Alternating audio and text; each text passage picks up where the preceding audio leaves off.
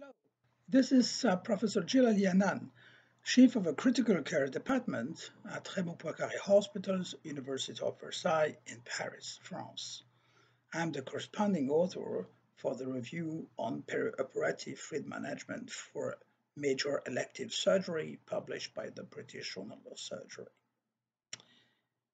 There are roughly 200 million patients that each year undergo a surgical procedure. Past decades, there were major advances in surgical techniques and anesthesia that have contributed to substantial drop in post-op morbidity and mortality.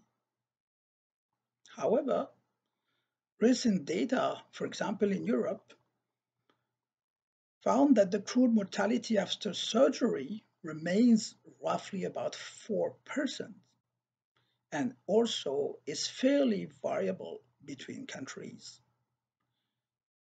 There is still a major need for continuous improvement in the perioperative management, and in particular, fluid therapy is an essential part of a perioperative management.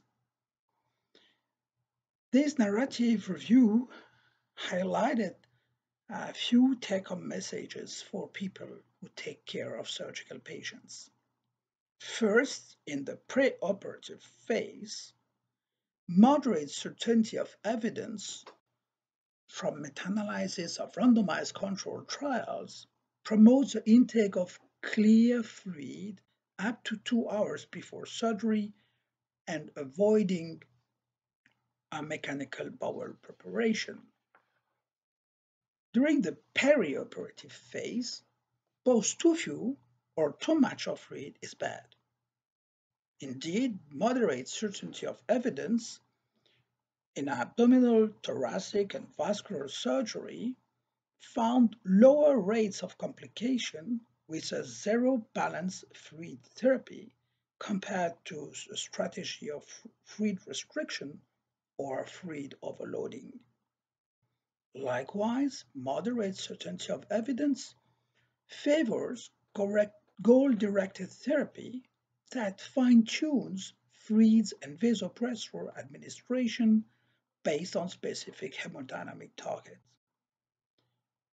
There is still much controversy about which type of fluid should be used, crystalloids or colloids.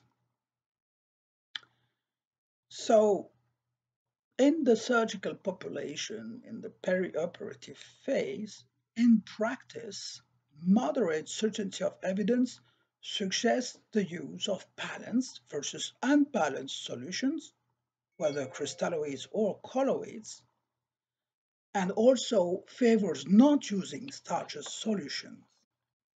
So, in sum, when managing a surgical patient, one should target a zero fluid balance.